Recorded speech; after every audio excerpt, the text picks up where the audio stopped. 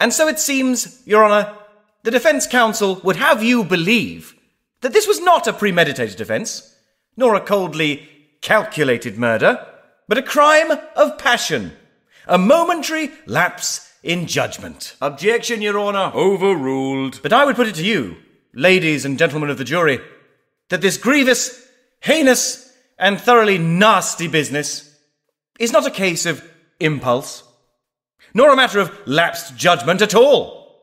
No, no, in fact, I would put it to you that it is, in fact, Crowley time.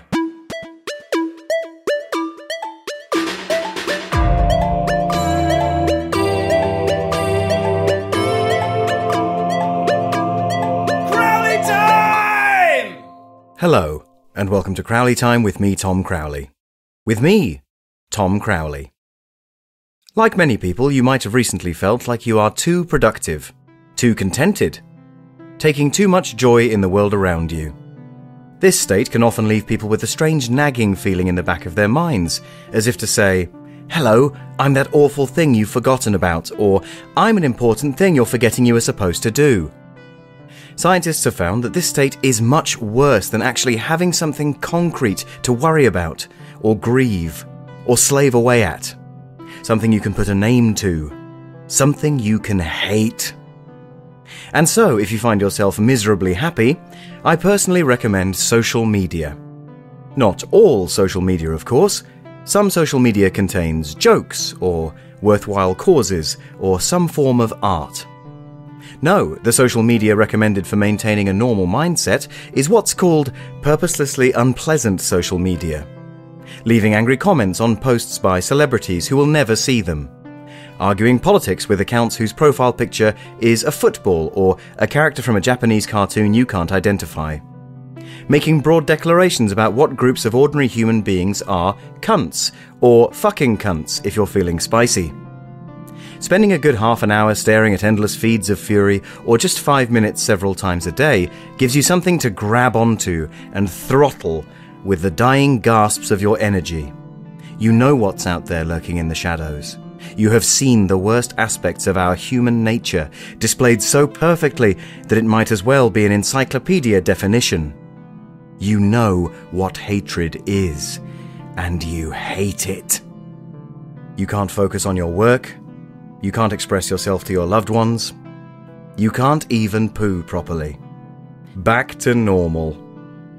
So, if the following program makes you too happy, puts a spring in your step, takes your mind off things, then I recommend purposelessly unpleasant social media. Nothing you say matters, and nothing will be achieved. You're welcome. Now, here's the opposite of that. Bon voyage!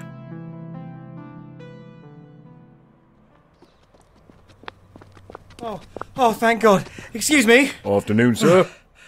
Oh, officer, you have to help me. I've just been attacked. and where did this incident occur, sir? Just up the road, that way. Mm, Just up the road, sir. Oh, it was uh, just outside the uh, uh, the um, the uh, the estate agent um, near the bank there. Barclays Bank, sir. Yes, that's it. I know it. And just who was it who attacked you? Oh, th- this man. He looked like he might have been homeless, possibly. He was dressed all shabby, but oh, I d- don't know. Can you describe him more fully, sir? Uh, uh, long hair, uh, dark but greying. He had a, a stubbly beard, a dark blue puffer jacket. Anything else, sir? No, no, no, I can't remember. Well, look, look, look, mate. Calm down. Tell me what happened. Well, I'm on my lunch break from work. I'd just been into the bank. I had to make a withdrawal. Uh, I was going to go to the jeweller's. It's my wife's birthday next week. All right, mate. Do not ask your life story. But, but, but, officer, come back. Unbelievable. Here, get over here, you tasty little bastard. Oh, God, he's back. Yeah, you better run. Hello, this is Crowley Time with me, Tom Crowley with me, Tom Crowley. We can't take your call at the moment. Please leave your message after the tone. Actually, I think you'll find that the Doctor, the titular character from Doctor Who, can't be a woman, according to a peculiarity in Time Lord chromosomes during the regeneration process, which is discussed very explicitly in an extremely entertaining novel which I wrote in the back pages of my computer literacy exercise book in 1997. Hello, my name is Wingnut. I am a five years old boy, and my mummy says I am very clever, but I have to stop putting my feet in the marmite. Welcome to Ask Wingnut, the program where me, a five years old boy, helps you with your problems.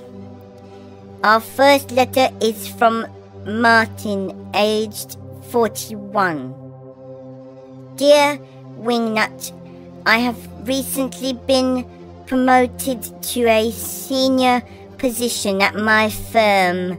The position comes with a small pay rise but significantly more responsibility. I am glad to be making more money for my family brackets, wife and two children close brackets.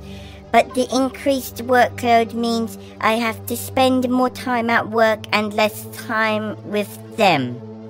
What should I do? Well, Martin, when my daddy has to work late in the evening, I sometimes go into the living room and chew the cables on the speakers. So you want to watch out for that, thank you. Now we have a letter from Deborah, aged 30, from Wolverhampton.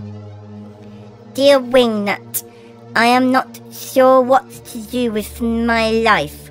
I studied sociology at university, but have only worked in hairdressers since graduating.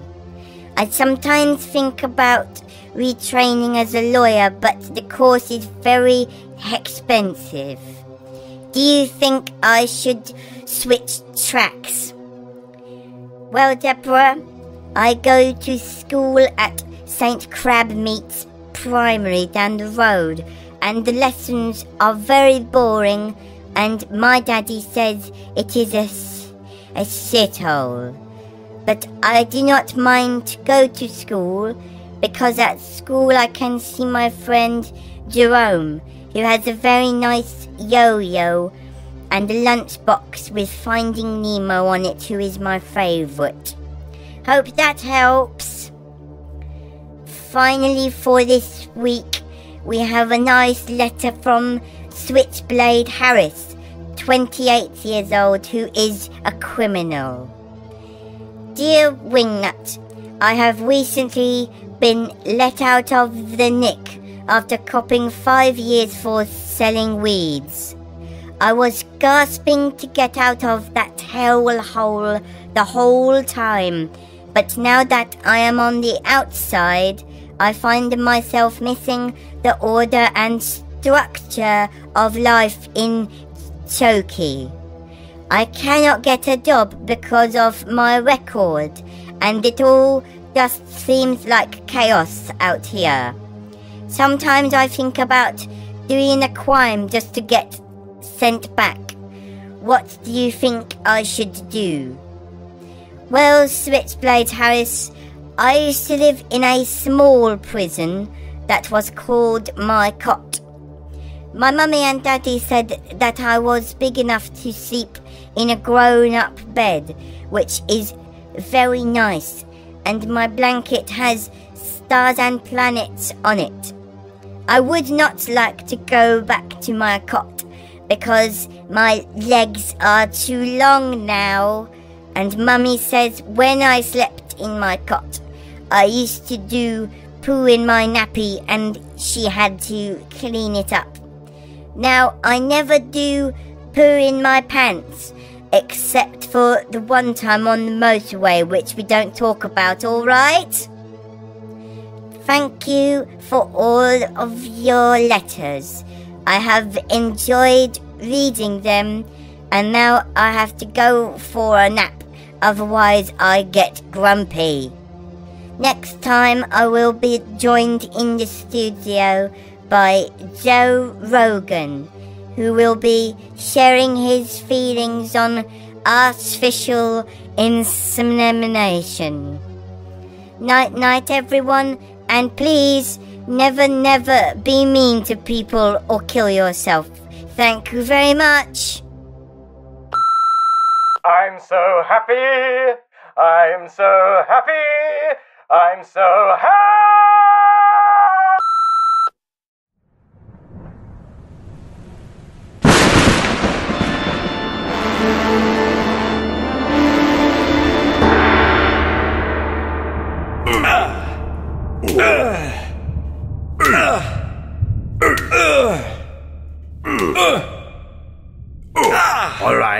Right. That's enough, Gottfried. Ja, Oberst Schwarzblum. I'll say one thing for you Nazis. You certainly know how to make a chap feel welcome. Shut up. Ah. Now, for the last time, tell me the maneuvers of your unit. We know you are plotting an assault on Caraman Base. We know you entered France covertly with 18 other special operatives. Now we need know only where they will strike and when. Gosh, terribly sorry, but my memory's letting me down somewhat. Gottfried, fetch the very long needle. Oh, ja, Oberst, good. Gottfried likes the very long needle. All right. All right, I'll talk. God damn you. Good. Gottfried, halt! We. We dropped over Ploemeur two days ago. Tompkins and Willis bought it on the way down. Dodgy chutes. We regrouped at Lorient at 0700 hours. It- All right, mate, I didn't ask for your life story. What? Gottfried, throw him in the pit. Yeah, the pit. What? No, but, but I'm talking. I'll, I'll tell you everything. No, please, please, no, no. If you're following along correctly, you should now have your left knee tucked neatly into the nape of your neck beside your right shoulder. It's at this stage you should be aware that you look like a complete tosser.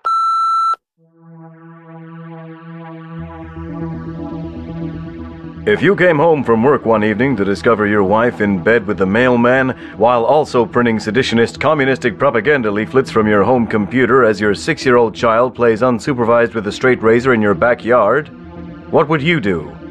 That's just the question that faced Marvin Glick, 39 years old, as he entered his Cooksdale, Oklahoma home that warm July evening in 1979. What Mr. Glick did at that moment would change his life forever. Well, well, I was flabbergasted. There ain't no other word for it. Besides bamboozled or gator mangled. I just didn't know what to think, so I just walked back out the door and wandered across the road. Enter Hillary Larson, 23 years old, from Lakeside, Missouri. Ms. Larson had arrived home that same morning after a coffee appointment with a girlfriend to discover her own father firing a shotgun repeatedly at a tree in their backyard and calling it a son of a bitch. When she questioned her father's behavior, he simply replied that the men who live in his hair had told him that the tree was reaching its roots under the house and was poisoning their water tank.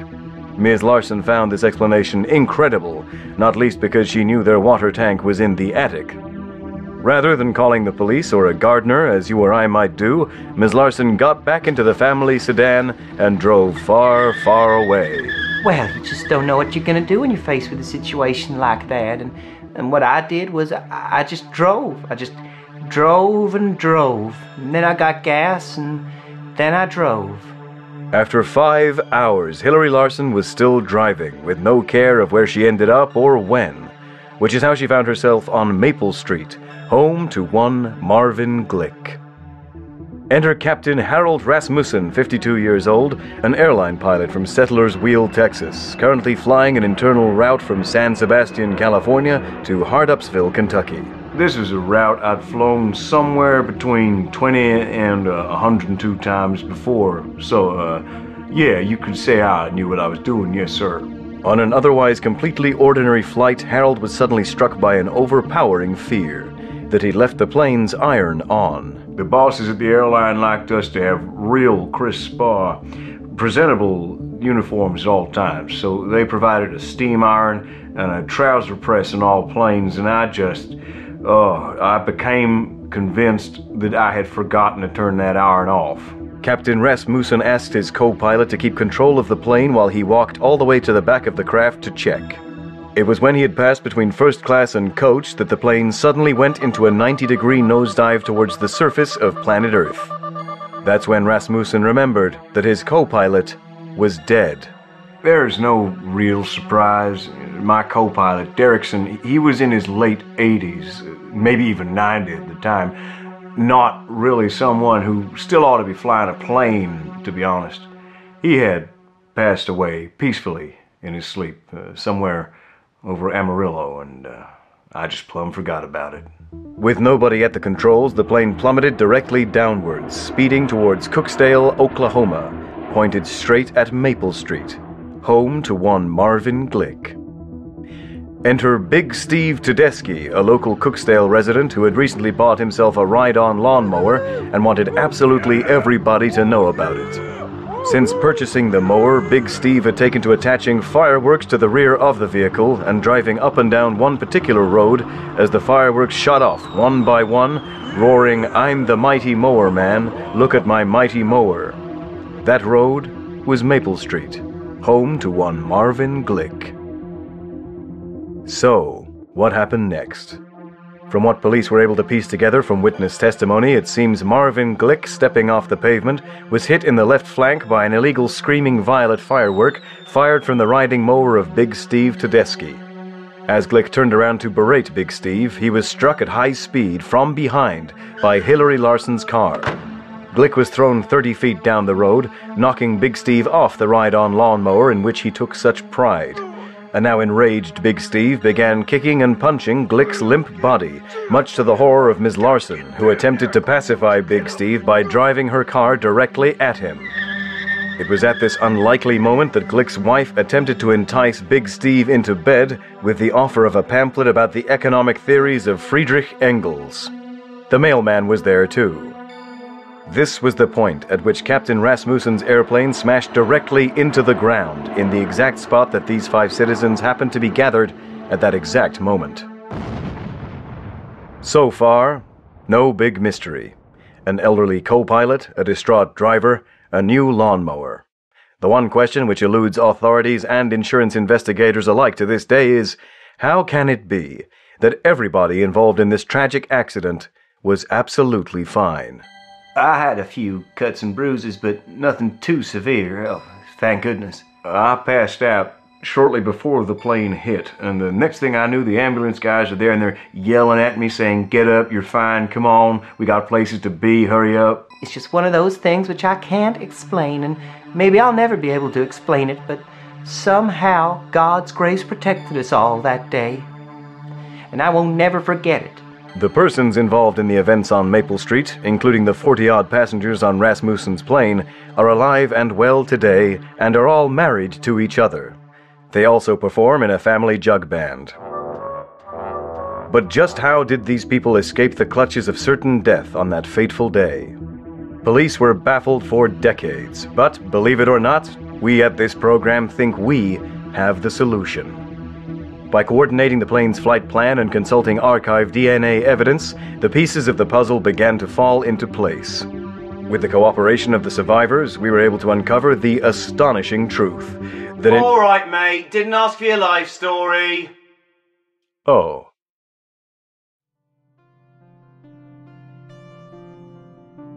And release. There.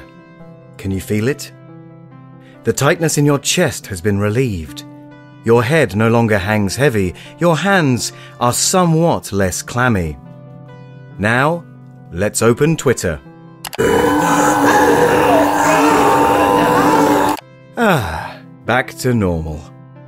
Don't forget, next time you feel a carefree sense of wonder at the world, there's always purposelessly unpleasant social media.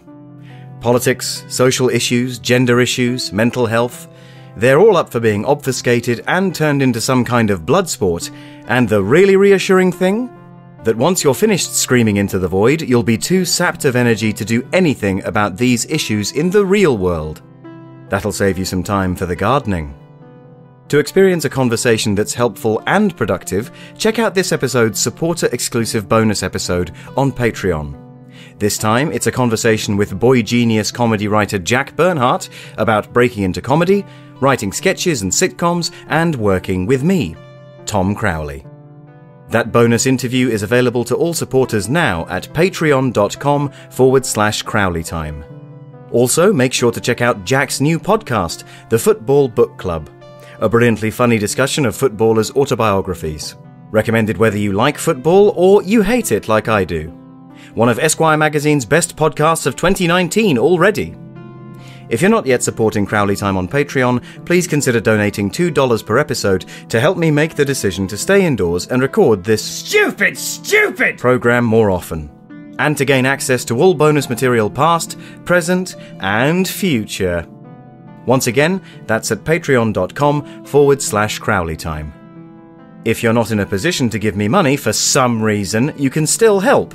Please consider telling a friend about the show via whatever method of communication you enjoy the most, or leaving a nice review on iTunes, Stitcher, or your podclasp of choice.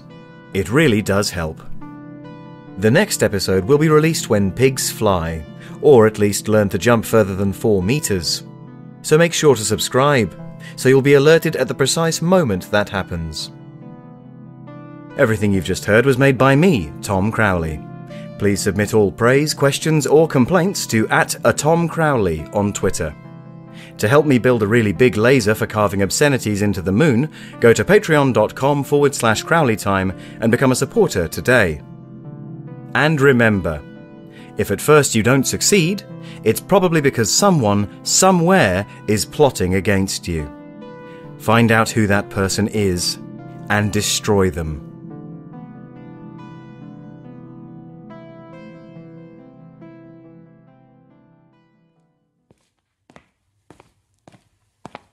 Oh, uh, hello. Yes, how can I help you? I've got the latest Crowley Time episode for uploading.